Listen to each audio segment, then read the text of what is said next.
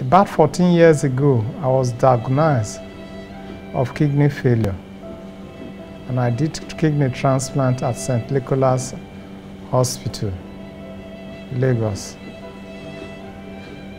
The kidney lasted for almost nine years before it relapsed. The prescription was that I'd be doing three times dialysis a week. This I could not actually finance, but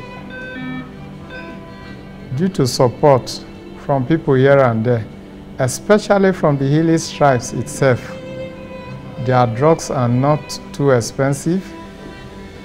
Even the dialysis, severally, they assisted by giving us some free sessions. I've, I've benefited about three times or even four from them now.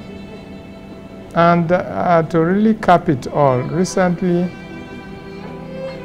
they brought the price of the dialysis down from what it used to be, which was, which was 25,000 to 20,000. I'm indeed really grateful to an organization like City of David that had the vision of putting in place hospital like this that will uh, uh, that could assist some of us.